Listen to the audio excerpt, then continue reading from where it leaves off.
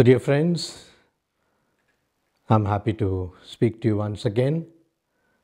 We are in mid September, the weather is improving, and we are once again back to the normal. Let me begin with the message of this week. The gospel that speaks of a very pertinent, challenging, and perhaps some it might disturb also that Jesus requests and insists on choosing only one God in our life. What's the meaning of this? Is God something that I can go on choosing from, from among many? Is God something that perhaps a variety that I can say, I like this God, I like that God? Jesus says in today's gospel, no man can be, no man can serve two masters. Either he serves one fully and perhaps goes a little slow on the other side, or perhaps he loves the other one and leaves this main God. No man can serve two masters. You know, those people who are close to the river, to the sea, they know what it means to sit in a boat. And when you sit in a boat, the boat perhaps takes you, you row it. But if there are two boats, try, or let us say, put your legs in both the boats. You know, either eh, you split like that and you fall in the middle, you can't row two boats together. Or rather, you can't put your feet into two boats. Something like that, you cannot serve two gods. The mammon, that means the money, the power, the prestige, everything that is connected with the world. And secondly, God Himself. We can't make a choice to say that for some time I will take this God, another sometimes perhaps I will take the other God. You can't serve two masters. And so much has to be your concentration on the God that you choose, the real living God, as represented was by Jesus in the Holy Trinity. He mirrors the whole Trinity and makes brings the whole Trinity to us. And therefore we have to love our God with all our heart, with all our mind, with all our soul, with all our strength. And that is the commandment for us. And Jesus gives an example to say that perhaps the example of the people in the world who have taken certain things as their God, money is their God, or perhaps money is their important, most important factor in their life, and how much they would work for it. There are people who work day and night in order to secure more and more money, more bonds, more shares. There are so many people perhaps who are who don't sleep. They are uh, always tensed up. What may happen? My shares may crash. And there are so many people, I'm saying, we have so much focused on the money itself and money, our riches, our wealth, our gold, perhaps everything is connected to the world is passing, is passing, not remaining. Only God is permanent. And therefore, Jesus also gives an example to say that how perhaps this particular steward who, has, who is to be removed, and naturally he gets the news that he may be removed, and in order to work out his retirement or perhaps time after he's removed, he calls the servants, and since he was a steward, perhaps who was in charge of many things, he calls one and says, How many barrels of oil that you are you, that you had taken a loan from my master. And he says, 100, right? 50. Another one, he gives another concession, another gives another concession. And Jesus praises this particular steward to say for his astuteness, for his brains to say that in order to save himself, how he makes these concessions or these perhaps adjustments. The people of the world, they would do anything in order to make the adjustments. And so Jesus says, if this is the trend or this is the perhaps attitude, how much more should we be working for the kingdom of God ceaselessly, day and night? We can even make use of these perhaps ideas of these persons not for the do evil but in order to good. And perhaps the people are blessed with wealth. There's nothing wrong with having wealth. Money, wealth, richness can also be considered as a blessing, but they are not absolutes. They are not absolutes. Money is not absolute. Gold is perhaps nothing permanent in that. And therefore, perhaps we can make use of these things also in order to gain certain merits or certain points for us, certain bonus points for us for the kingdom. The people who are rich, perhaps they can give some of their money to the poor.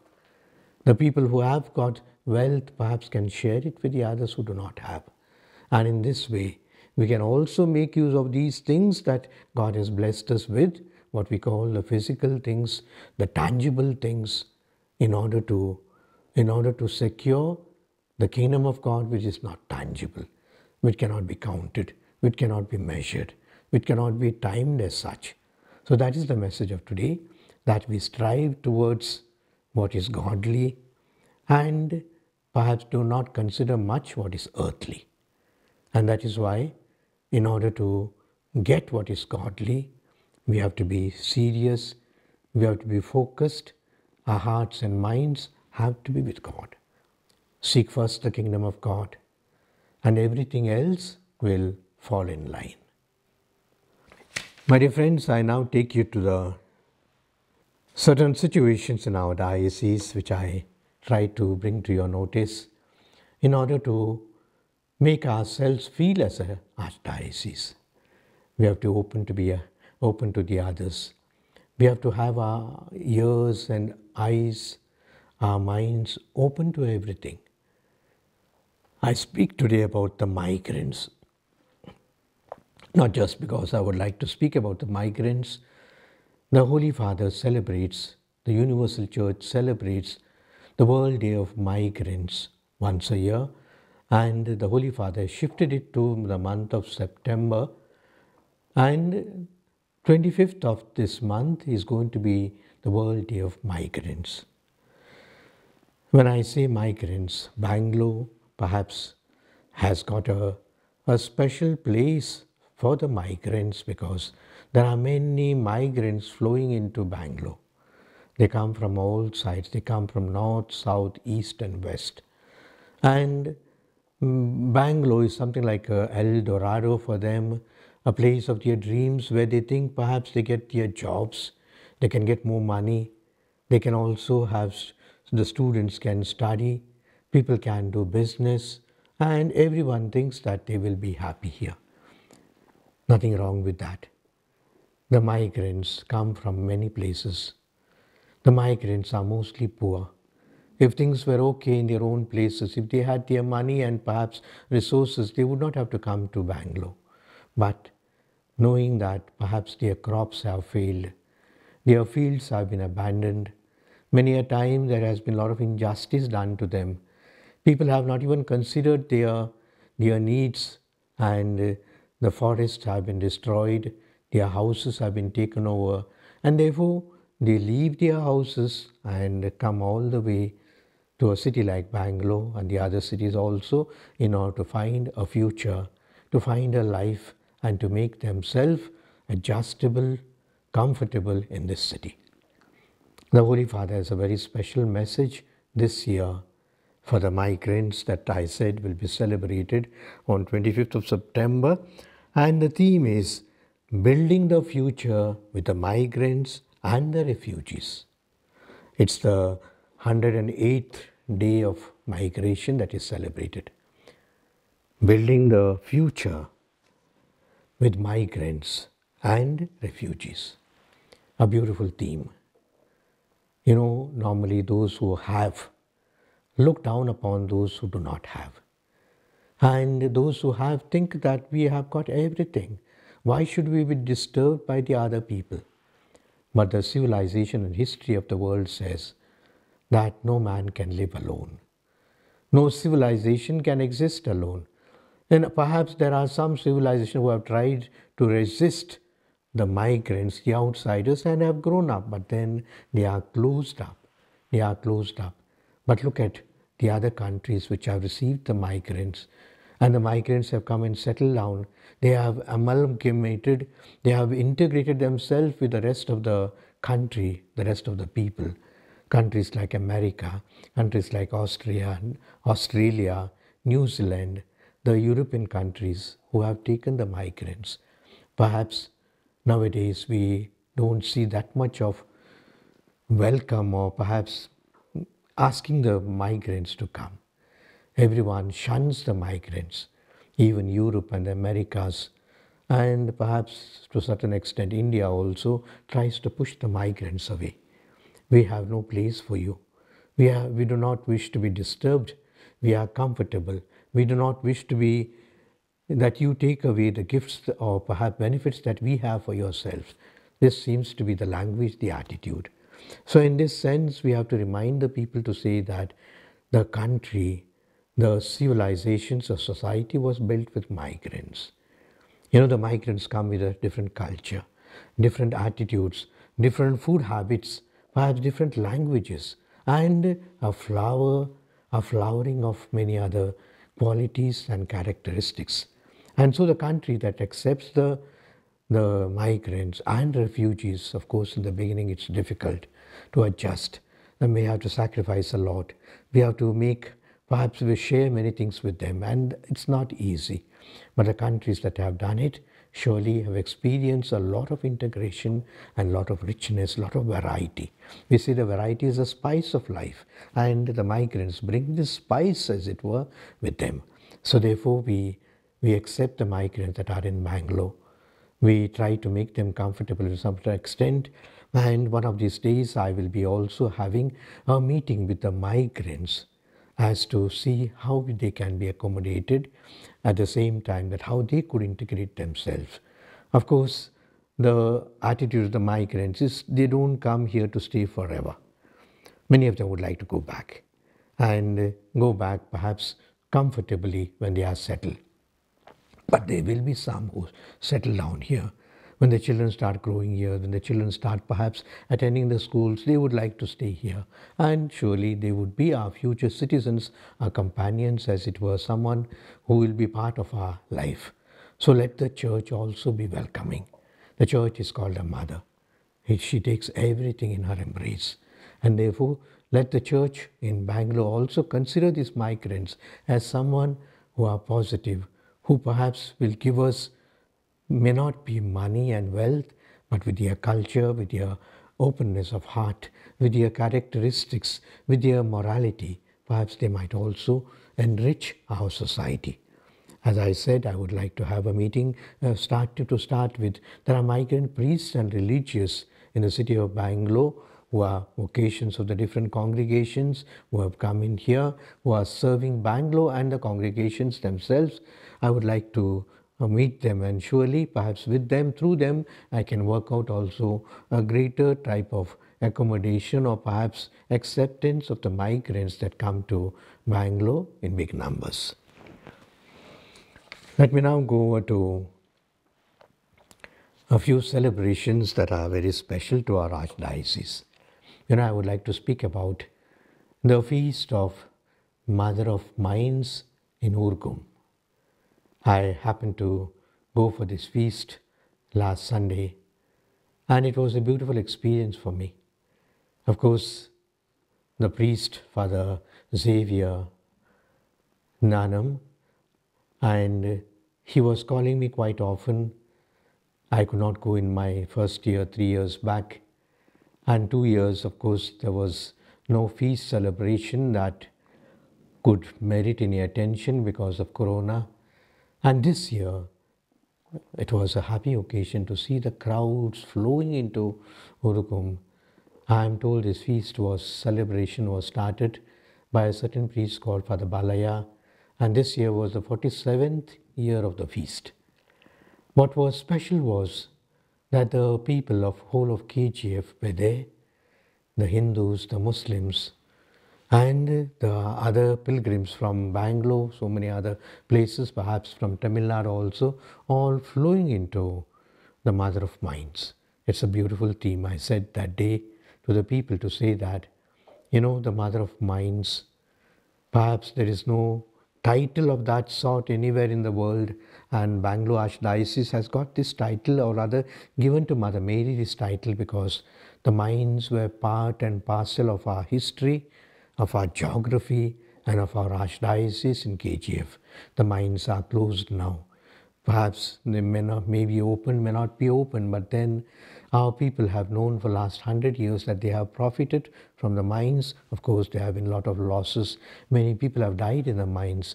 Many people have worked hard in the mines.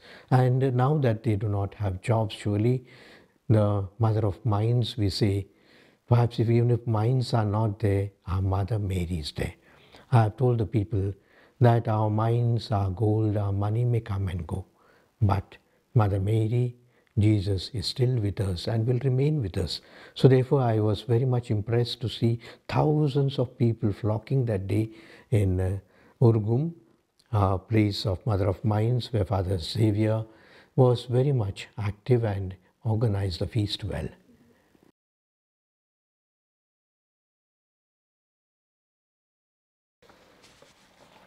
And I speak about the others. I spoke about the migrants. Bangalore is also, the church is rich with variety.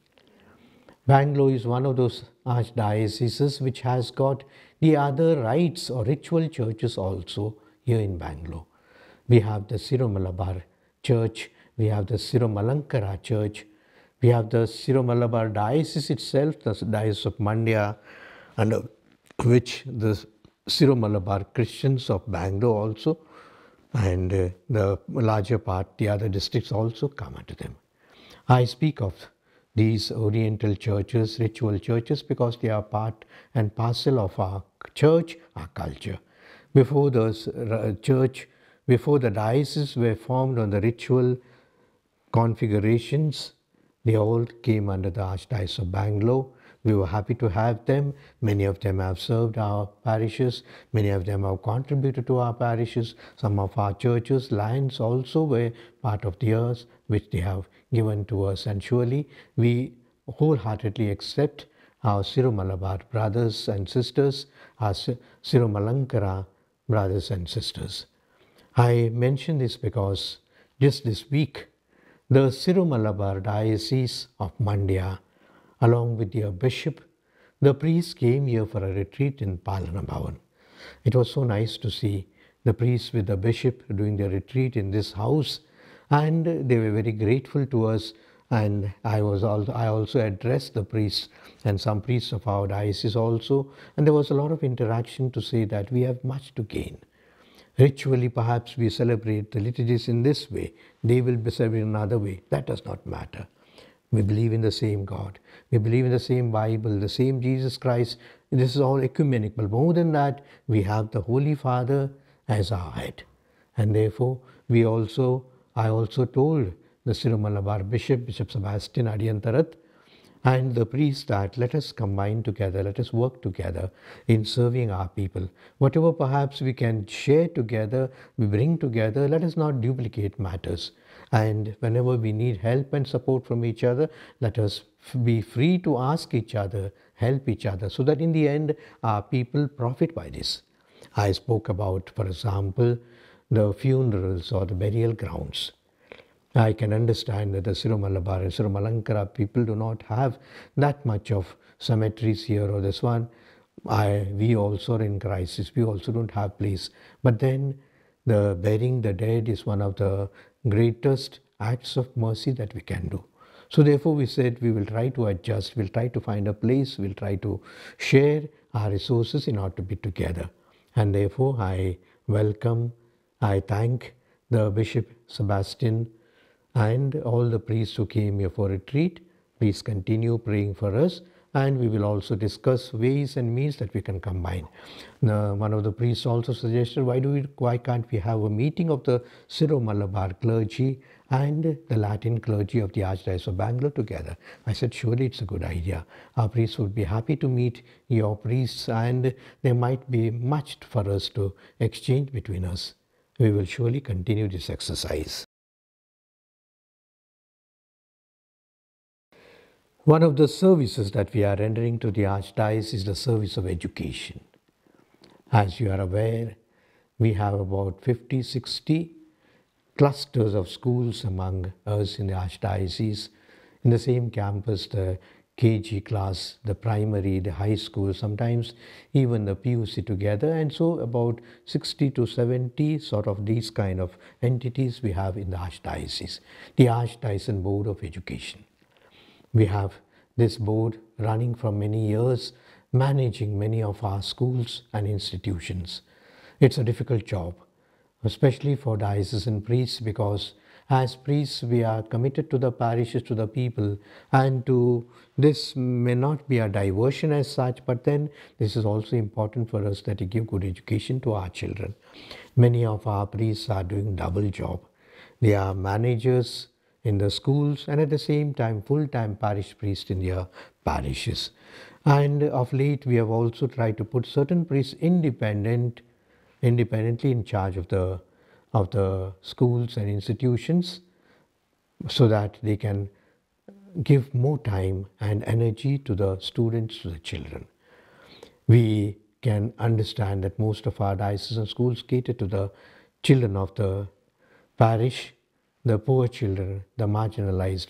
I also have requested that the migrant children also be taken in our schools.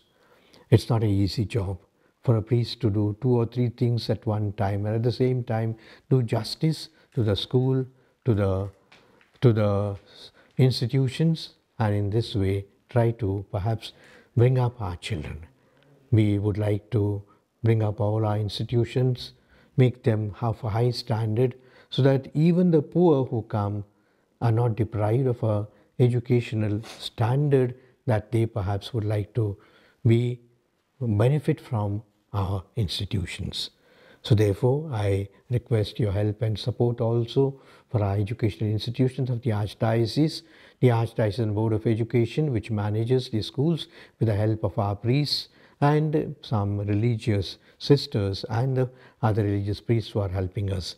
I commend their work and appreciate them and surely God will bless them for the sacrifices they are making for our children.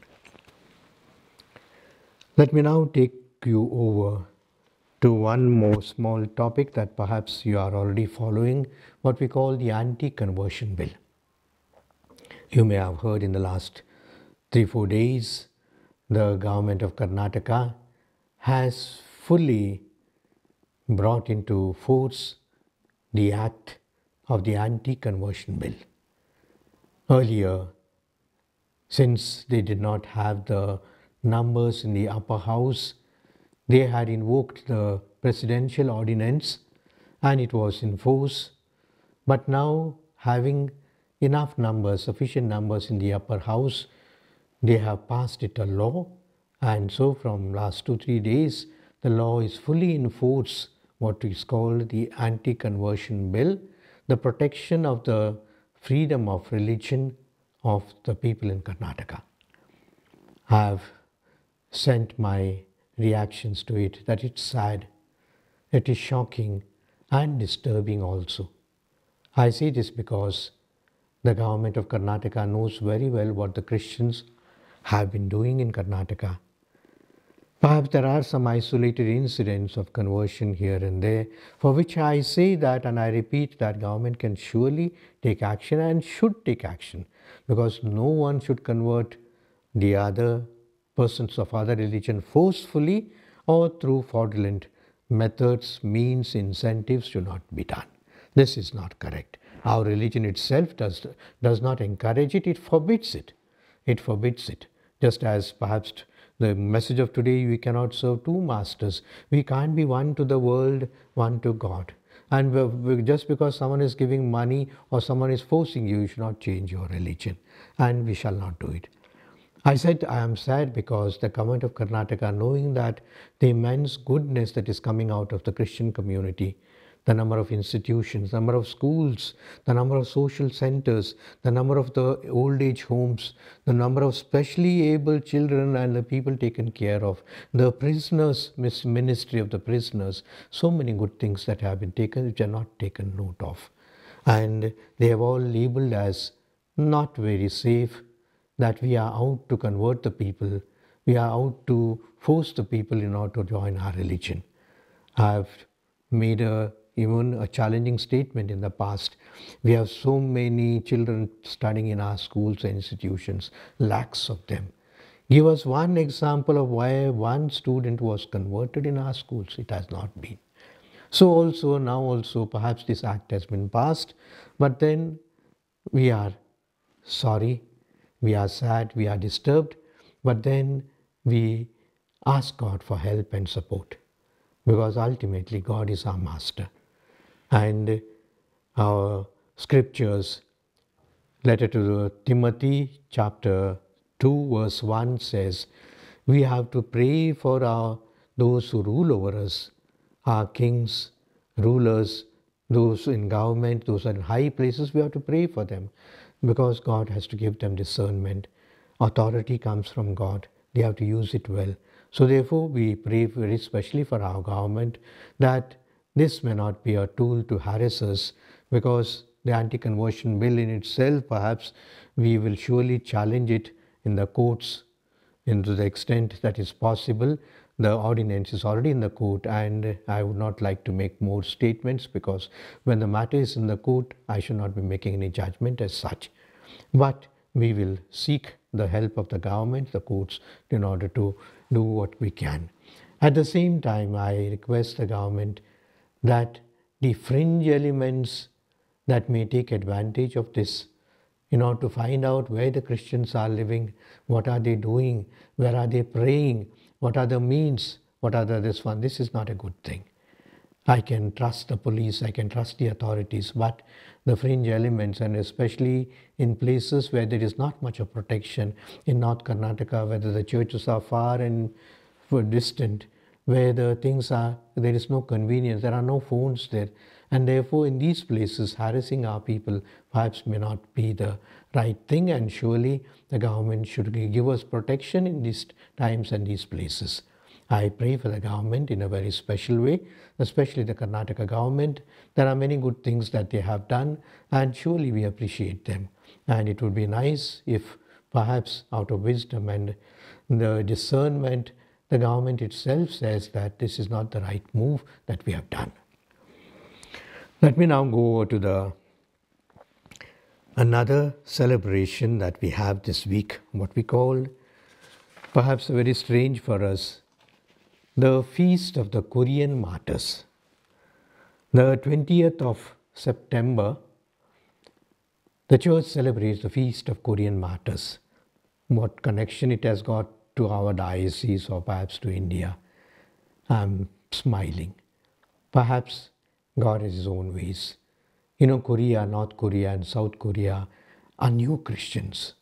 Are new Christians. They were, they became Christians only through the underhand or perhaps underground activities of some missionaries who dared to go there and to preach the gospel very, very secretly. And in the 18th century, in the 18th century, the faith has come to India 2000 years ago. But here, just about 200 or 300 years ago, they became Christians. And surprisingly, in the 19th century, 1834, I think so, we see that there are martyrs who bravely laid down their life for Christ. There was this Chinese dynasty that was ruling Korea and they were they were ruthless to say that there cannot be any other religion. And naturally christians were not encouraged. Christianity was not encouraged. And about 8000 to 10000 christians were martyred at one time. You can imagine one person giving his life for god. You can imagine another two or three but 10,000 people going forward in a line to say that we are ready to die for Christ. And 103 of them were declared saints in 1984 by Pope John Paul II. Of them, there was a priest also, underground priest, of course, secretly administering the people. His name was Andrew Kim. He, along with his companions, 103 of them, were beatified and canonized as saints. And once again in 2014, 123 of them have been declared venerable. And I am told that there are more on the list to be beatified. It's like a, an angel, an army of saints of one country represented in heaven. And surely what joy it must be for them to see that. But for me, it's perhaps it's a message that we have faith from long, long time. Surely we have martyrs, small martyrs. We, I mean, I don't say small martyrs, big martyrs we have, but a small number. St. Thomas himself, our uh, Gonzalo Garcia from, from the Bassein or the Bombay side, who from India went to Japan and became a martyr. We have also recently, the Holy Fathers canonized Devasagayam, who died as a martyr, and so we have also martyrs in our country. But then a big army like this we do not have. I think I might make, I should make a reference to what we call the Kandhamal martyrs. You know, 12 years back in the month of August, the Kandhamal, there was an uprising and attacks on the Christians. The houses were burnt, the people were scattered, and about 60 to 70 Christians were killed. They died in the fires, they died in the violence, as it were. And perhaps India in the future, perhaps these saints or these martyrs of a place like Kandhamal, which are once again new Christians, they are not as old as us, thousands of years. They are new Christians who daringly give witness to their faith. So I, my secret desire, or perhaps humble request to God is to honor our country also with these martyrs so that any opposition, any persecution that may come as regards the bills, as regards the exercise, as regards perhaps restrictions, may not hinder us in the furthering of our faith and flowering of new martyrs in our country. I now go over to the questions that have been asked. There's a very interesting question that has been asked, and the question is Are there any guidelines from the church for bringing toddlers for Holy Mass on Sunday. You know, toddlers, little children, babies. Number two is parents bring their toddlers and sit in the front bench, leaving the child to walk and play near the altar. This is disturbing to the priests, especially during the readings, gospel, and homily, and also to the parishioners. And the third question is Is it possible for parents with toddlers to attend the children's mass or or some other arrangements can be made for them to sit behind where there is no disturbance during the Mass? Beautiful question because it's a practical question. The practical, I don't say difficulty as such because the children are never difficult. The children are always welcome in our parishes, in our churches.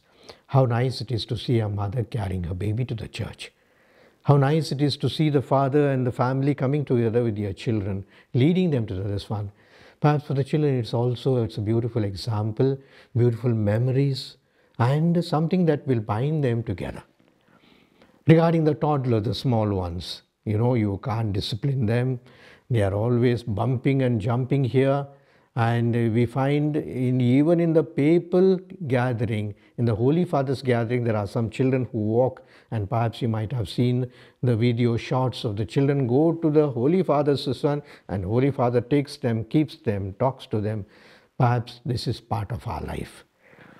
But the question that is asked is uh, should the children disturb the Mass? I don't think the children have an intention to disturb the Mass, they want to play. But for the parents, perhaps this is a small suggestion there that don't make the children walk about or go about because the mass is also important the announcements the sermon the readings are important for the people. And naturally when the child is moving this side that side the people's attention also gets disturbed. Sometimes the children also fall and uh, in one place i remember that two three people came running to pick up the child. He had fallen from the steps etc this can happen and therefore this is a practical advice. I don't want to give any commandments as such that the children should not be brought to the church and all it doesn't look nice. But for the parents to be sensible enough to sit somewhere at the side or perhaps some behind catch hold of their children. Don't allow the children of theirs to come in the center to become center of attraction as such. The second question is little more pointed. Parents bring toddlers and sit this is disturbing etc and therefore the children also to be taken care of. I don't tell the mothers don't bring the children bring the children. And that also perhaps connects the mother with the god with the and the child with mother mary with the church itself. The third question which i think i have to make a small comment is it possible for parents with toddlers to attend the children's mass with some arrangements for them to sit behind where there is no disturbance during the Mass. We have already started this.